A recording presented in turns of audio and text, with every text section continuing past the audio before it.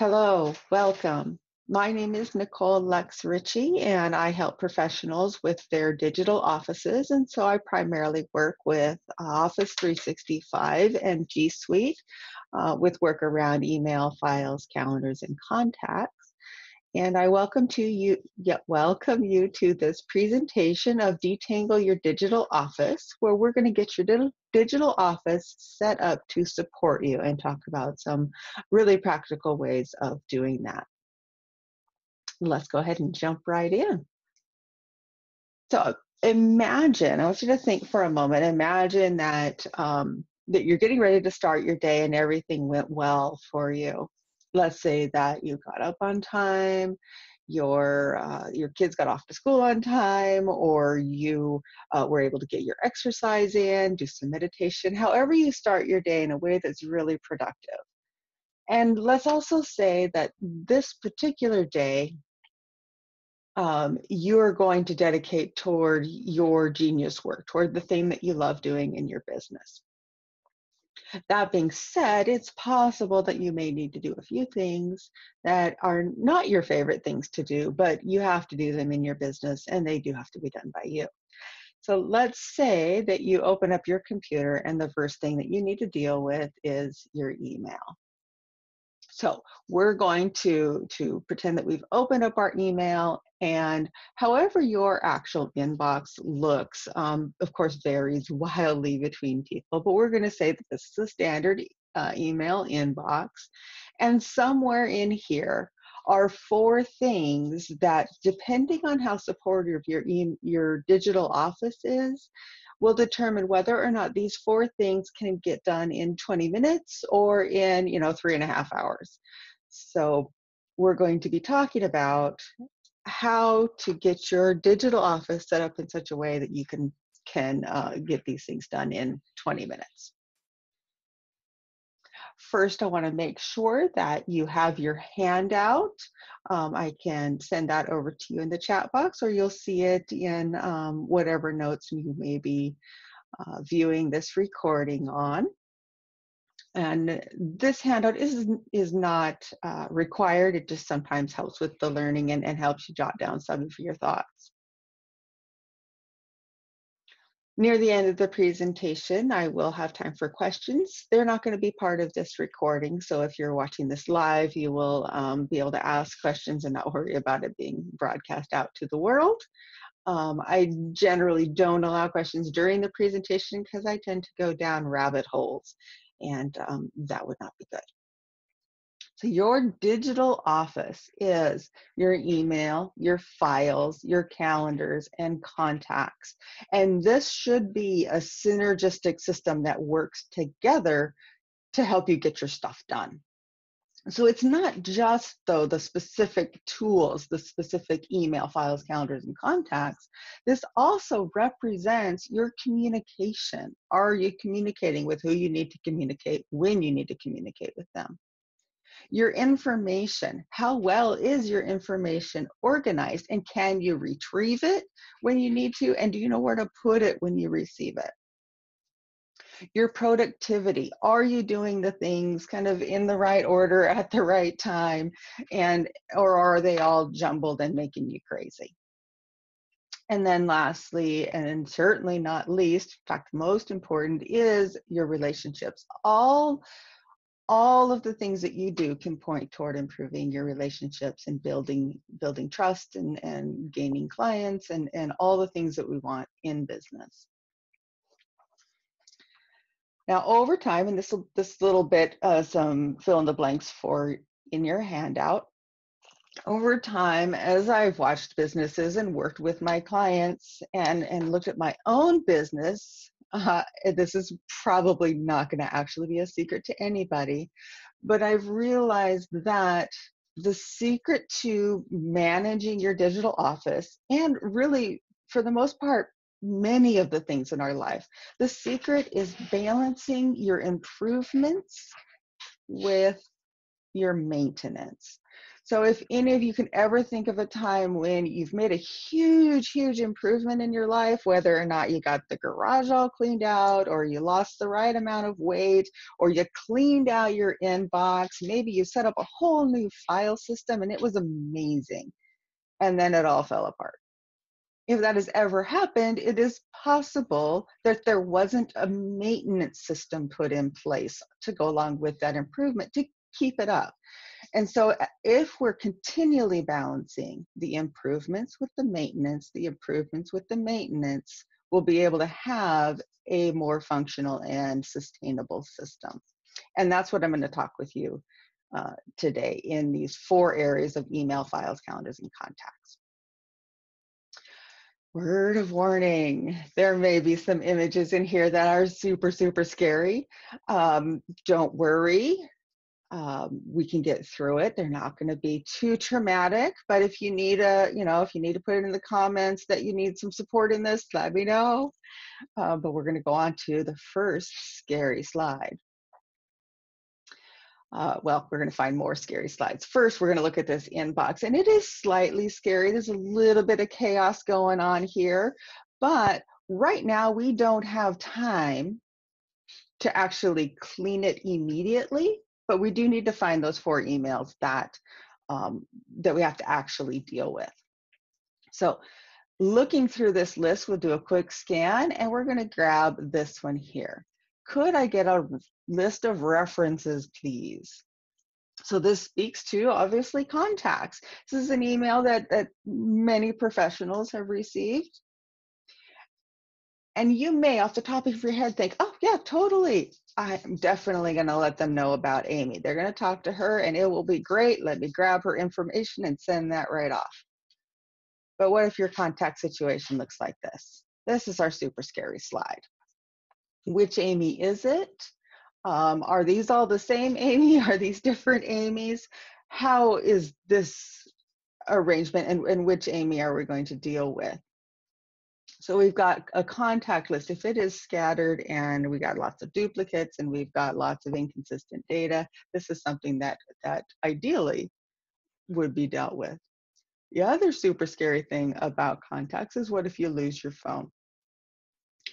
Do you have your system set up in such a way that if your phone were to fall into the sea, would you be able to pop on over to your local phone store, get a new phone, sync everything up, and off we go again? the goal is that you would be able to. All right, we're gonna go back to the email. We say we got got that um, that one taken care of. And our next email here is a I need to reschedule. So sorry, but that time slot didn't work. We need to have a new one. So this can either be a super great problem to have, or it can be very traumatic. You may depending on your calendar situation, know immediately that you're like, oh yeah, no problem, we'll do that Tuesday at 10. But what if you have a paper calendar and you left it in Australia? This could present a problem. Do you know exactly uh, uh, uh know exactly where your time is spread, where you have gaps, where you can can reschedule that appointment, and how quickly is it going to be for you to determine? Do you need to go to three or four calendars? Do you need to flip through 15 pages? And do you know and can you trust that it's up to date? These are the things to consider when looking at your calendar. So our next email is attached is the report you need for your proposal. So let's say this is an email um, email that you received. Let's say you've been waiting for it. You need this information for a client. You've got to get this this situation dealt with, um, or maybe it's something that you're going to need in a week or two. The trick here is to know where should you save this information so that you will still have access to it when you need it, so it does not get lost because it's super important. So here's a very scary slide when I do this um, for live groups in a, in a room, everybody gasps horrified. But what if your desktop looks like this? So here we've got a desktop covered with different icons. If you're saving that file to the desktop, where is it going to go? Is it going to land over over here above Alex's head, or is it going to go over here by by Cole's ear? Is it going to hang out by Evan's arm? We don't know. So there's nothing wrong with saving things to your desktop, but having it arranged in such a way so that it doesn't get in your way is, is what we're going for. All right, now that slide was pretty scary. This next slide is the scariest slide of all. And this is this next slide is actually why I do what I do, because I never, ever, ever want my people to go through this particular scenario, although I have seen it more times than I um, than I would like. And I'm gonna go ahead and click and let you just take a look at this list and see if you can find it. There's a couple of, of somewhat disastrous things about this particular slide. Um, this is a Gmail account, which means that Gmail has pages. So it's like you, the first 50 emails are on one page, the next 50 emails are on another. So this particular email, we're on, we're on page 51 through 100. So we're on the second page if you're using an Outlook account, this means you got to scroll way down that list. These emails on this slide are buried in the email list, and that's super sad there. But the more sad thing is this right here. Here we've got an email that says, I would like to get started right away. This is our, our you know, potentially hundred thousand dollar a year contract. This this could be your, you know, that that one client that you've been been working with for years and years, um, and they're going to go take it to the next level. We don't know what this is, but it's like a super exciting email. But the sad part is, is it's on page two, and what's worse is it's on red. We don't want this to ever, ever, ever happen to you. And so this is why we're going to get digital office improved. So this is the I would like to get started right away email. And we want to be able to answer that one right away. So what can you do? I've showed you a whole bunch of super, super scary things.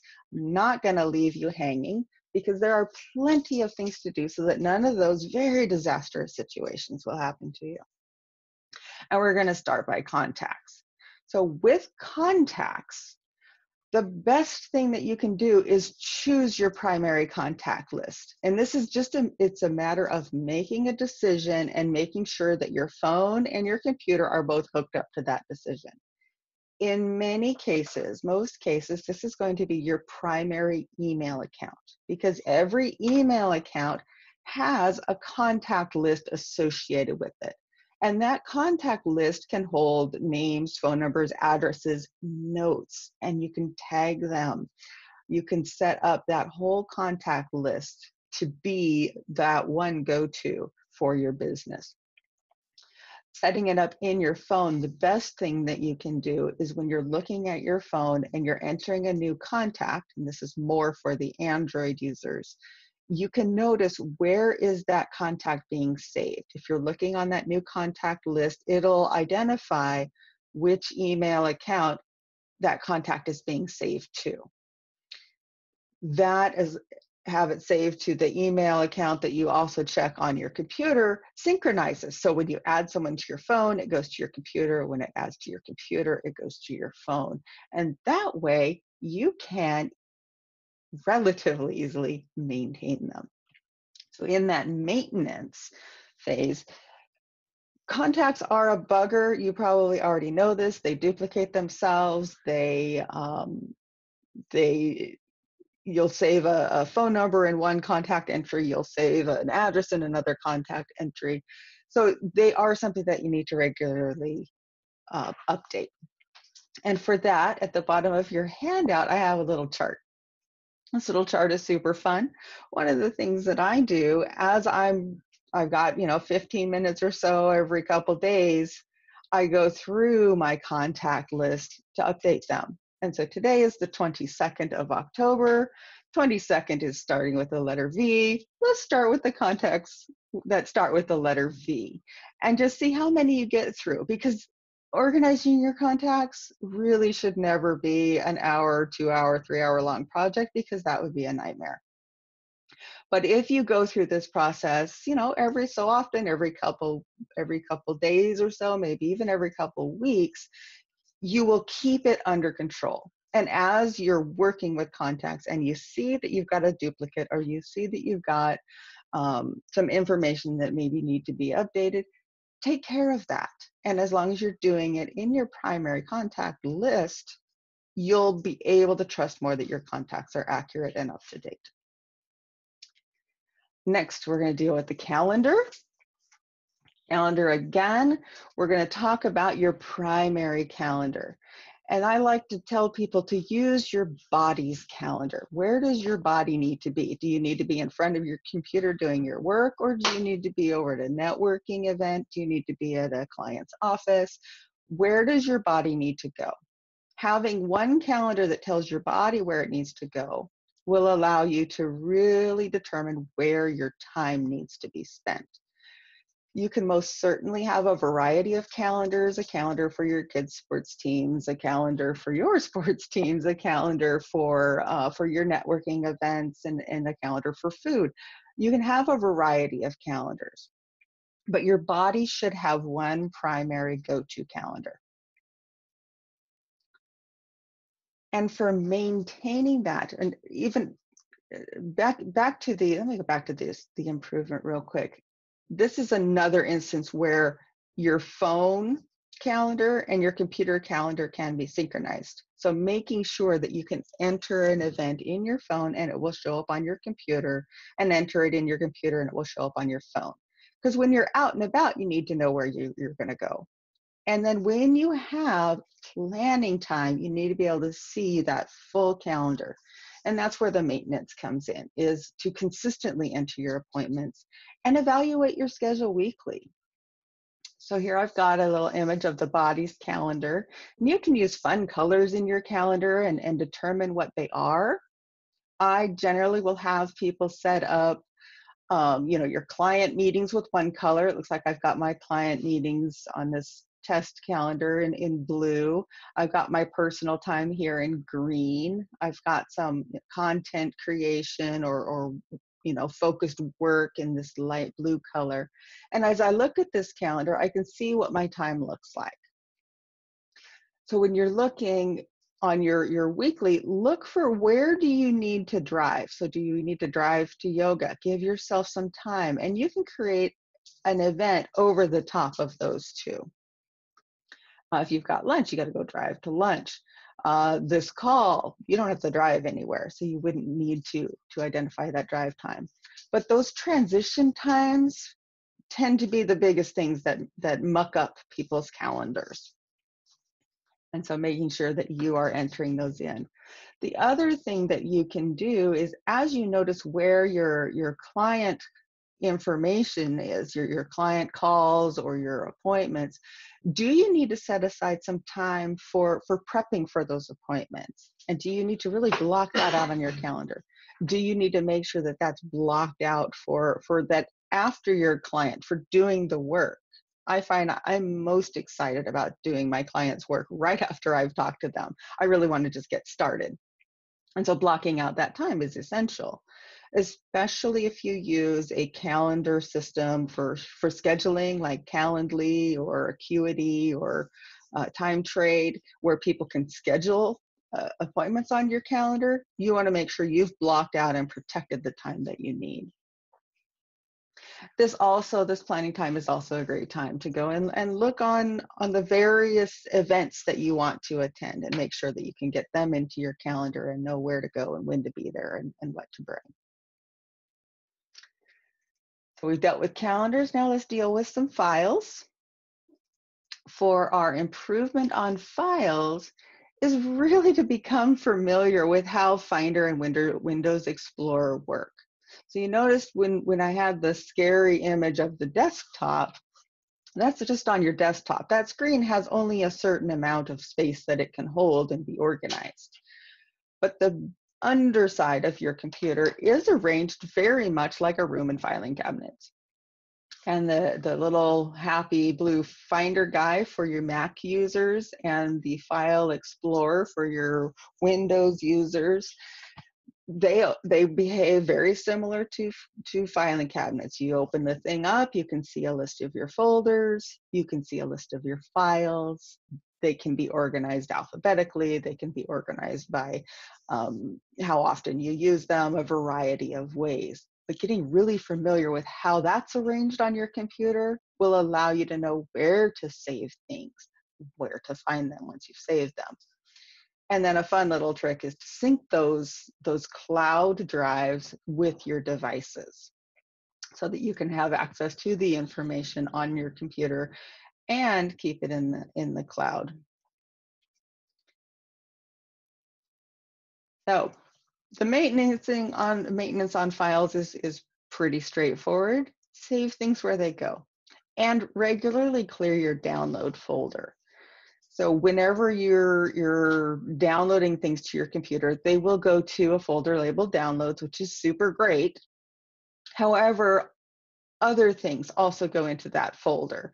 Uh, if you've installed a program, there will be a, a little installer program that once you've got the program installed, you don't need it anymore and you can get rid of it. Your download folder can take up a ton of space on your computer. And once you've downloaded it, once you've saved the important things to a location where they go, other than the download folder, you can delete everything that's in there and it will save you space. And here's uh, just a very quick visual on how that um, those computers are, are organized. Here, your file explorer, you've got the files on the left-hand side. And this here, this highlighted documents is showing what's in that particular folder, and that's here. Same is true for Finder. You've got your documents on the left side, and then what's in the documents on the right and you can drag and drop and move them around and make them as organized as you want.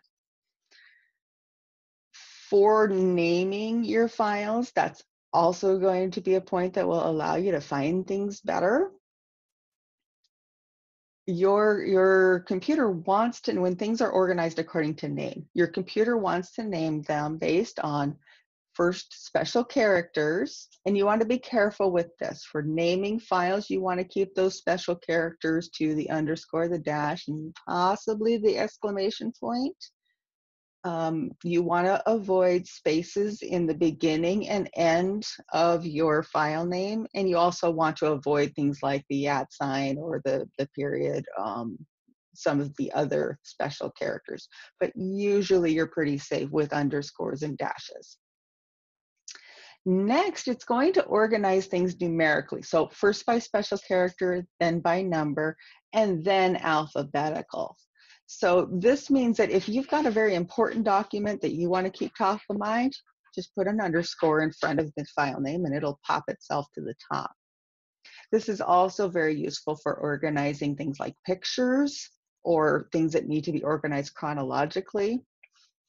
Notice here on the right, we've got pictures to where if I were to just create these folders as, as the, the year goes, January, February, March, April would be the very first file. Well, April is not the first month. So just simply adding a simple 01 to January, 02 to February, 03 to March, that will put all those folders in their chronological order. The other thing to be aware of is notice that we have um, October, November, and December. So if we were to just go 1 January, 2 February, 3 March, our arrangement would be January, um, October, November, December, February, because that's how the computer wants to arrange it. So those zeros can be very helpful as well. For files that you share, it is a very good idea to put your company name first dash, whoop, and then their company name. That way, when they see this file in their file inbox, they know it's from you. I cannot tell you how many times I've gotten a folder shared with me named Nicole. Okay, I have three folders named Nicole. Which one is the one from you? This is something to be aware of when you're sharing things, and this, this works in a variety of situations. So now we're going to finally get down to email. This is what you've all been waiting for, I'm sure. And we're going to talk about the improvement for your email. For email, the biggest thing with email is that we want to be able, like those four emails that were in that mess of stuff, we want to be able to see immediately what we've got. And we want to be able to keep the things safe that we need to keep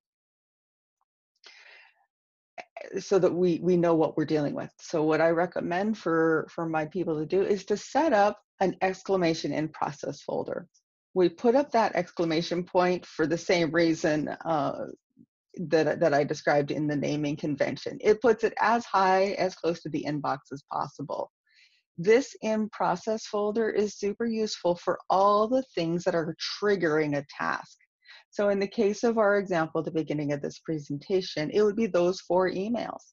They would be safely in the in process folder. And so you can go through, go through that in process folder, you put all your tasks in, or you go through your inbox, you put all your tasks in your in process folder, you gather and you save all the other things that you need to save. And whether that's in just a folder labeled save or a folder itemized by different categories is completely up to you.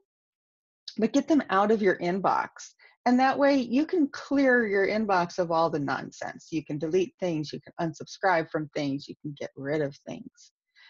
And that's where your maintenance is coming in. Your maintenance is to regularly clear out your emails from your inbox. The goal the goal is to get to zero. That's not feasible for everybody. It's not feasible all the time. But you can get very close and you want to do it regularly so that you know that you didn't miss that I want to get started email. So I recommend my people very similar to what we did with contacts and, and looking for that, that day of the, um, the day that corresponds with the letter. For email, every time you go into your inbox, just unsubscribe from five things. 90% of the things that we subscribe to, we don't need. You all know how to go look up stuff on Amazon. You all know how to go and research something on that, that very important topic. Very few newsletters that people subscribe to, there's very few that we actually read. We, we're busy, we don't have time. So if you haven't read a newsletter in the last, let's say, three or four weeks, unsubscribe from it. You can always resubscribe. So here's our secret for checking email. And that secret is that checking email is two activities. The first activity is triaging it and then processing it.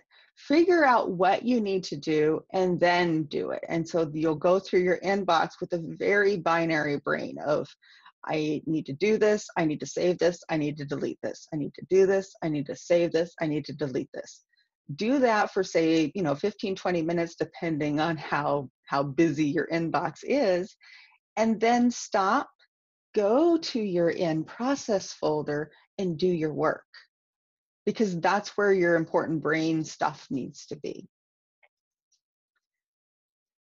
so now as you do that as you've consistently done the maintenance and improvements on your system, you may open your inbox and it might look more like this. And in this case, these emails are very easy to spot, very easy to deal with, and you can go on about your day doing the actual things that you want to do. Thank you so much for joining me as I have offered this presentation. I'll be getting to questions uh, for those of you who are attending this live in just a moment. But before I do that, uh, I want to make sure that you're aware that I, I do offer a complimentary discovery session where you and I can talk about your particular digital office situation. Uh, this would be great for, for if you have any um, specific questions about how you can make your office run more smoothly or more efficiently. And so you can find a, um, a scheduling calendar at luxcentric.com slash discovery. Also, every other week, about every other week, I offer what I call a digital detangle and that is 30 minutes. It's a Zoom call, so we're all face to face chatting about digital office situation stuff. And you can find more, find out more about that little program um, at rescuemydigitaloffice.com. And thanks again for joining me on this presentation. If this, if you are viewing this on YouTube, you please subscribe to um, my channel wherever that red subscribe button is. And I look forward to seeing you around the internet.